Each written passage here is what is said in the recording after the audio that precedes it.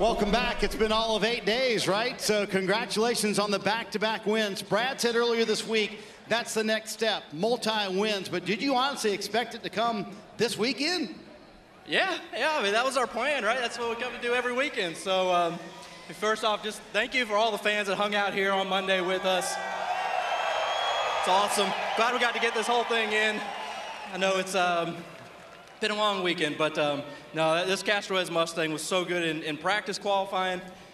This team gave me a great car again, and uh, had to work for that one too, and uh, you know, hard racing there at the end. And, and uh, Martin was very clean with me, and, and I appreciate that. And um, get to go get to go to Victory Lane two weeks in a row. So that's pretty awesome. I think these fans thought this was Martin Truex Jr.'s race. How did you guys first of all make the car better, and then how did you hold him off after two hard charges from the 19?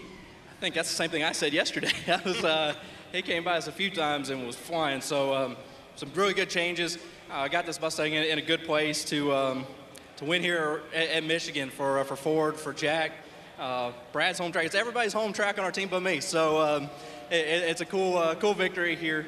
Um, I gotta I gotta say, uh, you know, missing my wife. She hasn't been at the last two wins now. So um, three wins. Ooh.